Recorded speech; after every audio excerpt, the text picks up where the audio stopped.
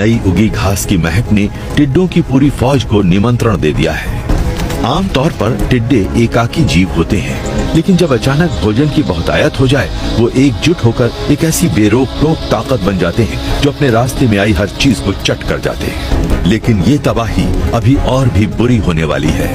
ये टिड्डे अब पंखों वाले वयस्क बन चुके हैं और इस तरह की अनुकूल परिस्थितियों में ये बदलाव तीन गुना ज़्यादा तेज होता है।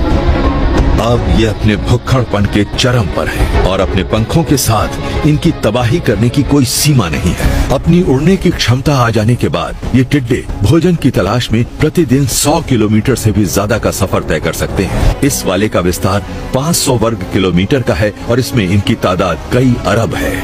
ये मिलकर एक दिन में चालीस हज़ार टन भोजन खा जाएँगे। जितनी तेज़ी से ये टिड्डे किसी इलाके के पौधों का विनाश करते हैं, उतनी तेज़ी से और कोई नहीं कर सकता।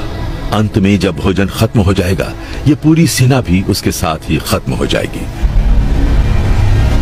बीस साल से ज़्यादा समय से ज़मीन में पड़े इनके अंडों से बच्चे निकलने लगे हैं।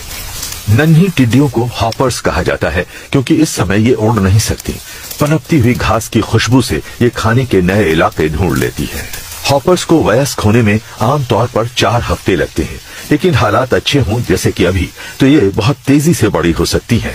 एक जगह की हरियाली खत्म होने पर पंखों से लैस ये वयस्क फेरोमोन्स छोड़ती है। इस गंध से झुंड में दूसरों को पता चल जाता है कि अब आगे बढ़ना चाहिए। और झुंडों के मिलने से इनके बड़े बड़े दल बन जाते हैं। हर वयस्क टिड्डी रोज अपने वज़न जितनी हरियाली चर लेती है और इनके दल हज़ारों टन हरियाली को सफाचट कर सकते हैं। इन्हें लगातार आगे बढ़ते रहना पड़ता है। टिड्डियों के दल हवा के साथ बढ़ते हैं। उड़ने के इस तरीके में ताकत की सबसे ज़्यादा बचत होती है। उड़ते समय इनके बड़े बड़े दलों के आपस में मिलने से ये कई अरब की तादाद में जमा हो जाती है और ऐसे बड़े दल चौसठ किलोमीटर तक चौड़े हो सकते हैं। ये रास्ते में पड़ने वाली हर खाने लायक चीज़ को खत्म कर देती है।